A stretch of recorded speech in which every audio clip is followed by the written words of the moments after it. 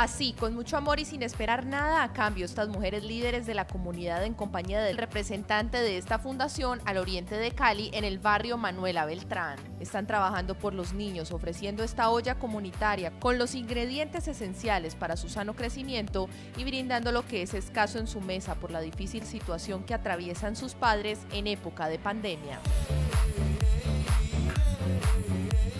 Aquí en el barrio se benefician más o menos 120 eh, niños y como 200 personas. Pero lo más importante es que en realidad hay muchos niños que son, que son de madres de cabezas de hogar y que están por ahí sin alimentación ni nada.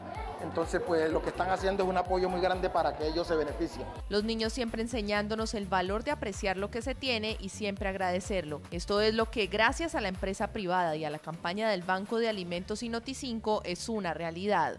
Se siente cuando uno come ese plato, uno siente una emoción tan grande que se le sube a uno a la mente, al corazón se siente tan espectacular. Y todos somos unidos, podemos llegar a ser algo mejor a lo que somos.